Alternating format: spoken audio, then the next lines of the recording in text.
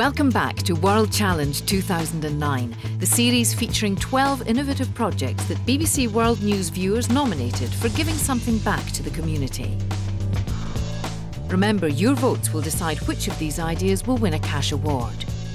Visit theworldchallenge.co.uk to find out how you can decide which of these is contributing the most to the environment while boosting local incomes. Livestock is responsible for 18% of all greenhouse gas emissions, more than all the world's transport. Now, a team from the UK may have a solution a feed additive that makes cows produce more milk and less gas.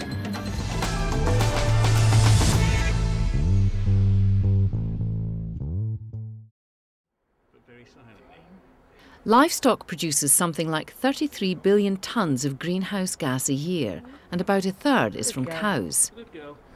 The trouble with methane is that it's 21 times more damaging a greenhouse gas than CO2. Where does it come from?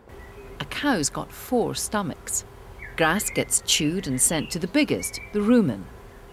Bacteria in the cow's gut help break down the grass, but produce methane, which goes down the waste plumbing to come out at the rear of the cow. Actually, more comes out of the animal's mouth as it gently chews the cud. Either way, it's greenhouse gas. But can anything be done? Well, there's one idea. It's called Mootral. Mootral is a very simple idea. It's a product that helps reduce carbon emissions from the livestock industry.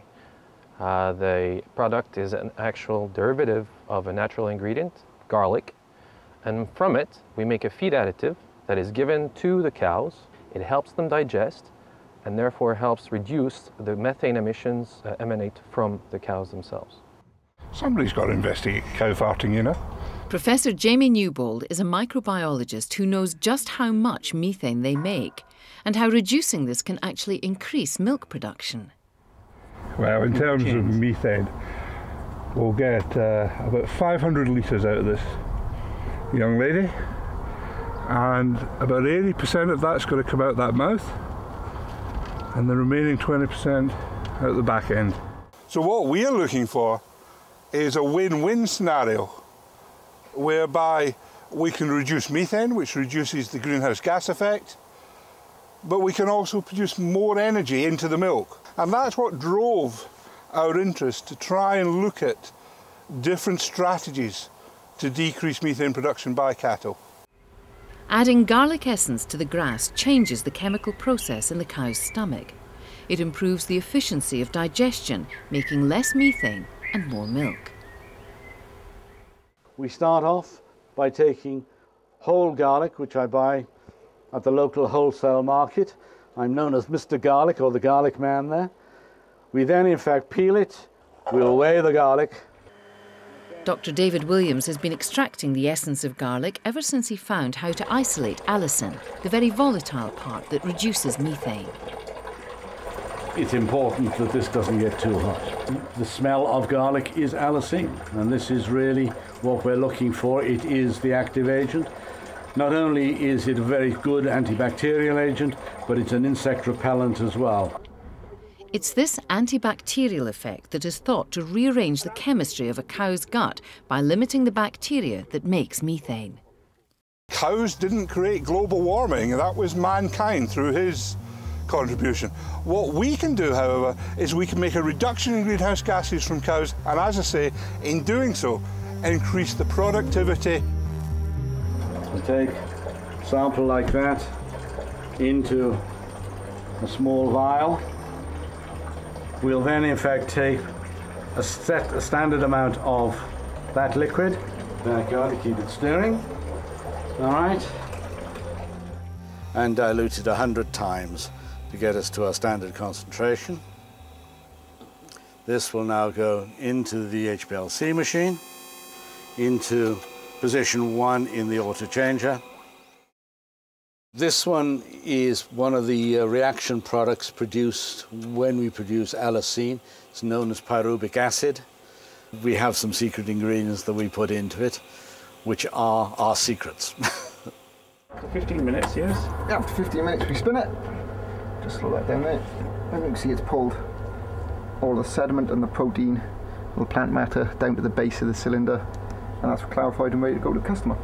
I think, in fact, we know it's, it's going to work. We're confident that it's going to work. Just how well it'll work, I think, is yet to be determined. But we're starting now at sort of 15 to 20% reduction, and that represents about one and a half litres of milk per cow per day. And we think we can probably push it up to 50% without any detriment to the actual cow itself.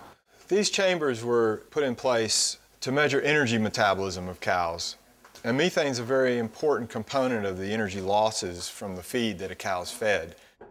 At Reading University, Dr. Chris Reynolds will be feeding cows with added allicin and measuring how much or how little methane they emit. These are called respiration chambers. They're basically boxes that we put the cows in, we then seal them up, and then we're able to obtain very precise measurements of methane production from the dairy cows. So the air is flowing through these exhaust pipes, and we have flow meters that are measuring the flow rate of air through these pipes, and we also have sampling ports. So we're taking samples of the air from the exhaust air from the chamber and also from the air coming into the chamber from outside.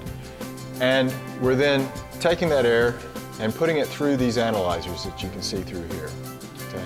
And these analyzers are then telling us the concentration of carbon dioxide, of methane, and of oxygen. There is good evidence that there is an effect. We don't know all the answers. And the whole program that we're working on now and what we want to do in the future is to make certain that the science is good.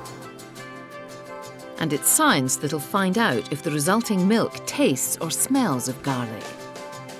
At the University of Wales, there's a brand new facility to test for just such tainting of food. And Neem Biotech, with their garlic milk, will be the first customer. One is the milk produced by cows who are eating the animal feed with garlic in. Okay, putting the samples into the little cubicle. So when the taste testers come in, they don't see anything this side, they wouldn't see me. So far, no one can tell the difference, but the research continues. There is suspicion. We still need to do those final tests, and we've agreed with a few corporations and multinationals to carry out those tests to make sure that your chocolate, your milk, or your yogurt will not smell or taste like garlic where in fact we have validated methane reductions, we will be generating carbon credits, which we will sell to participating companies. That's the model we're trying to work and trying to develop. Whatever we can do, I think we need to do for the sake of our children. So that's why we believe that Mootral is a winner. It's a global winner. It's simple, it's scalable, it's sustainable, and the effects are immediate after the product is given to, to, to the cows. Of the prize money will be given to, to, the, to, the, to the final stages of the research and development of Mootral.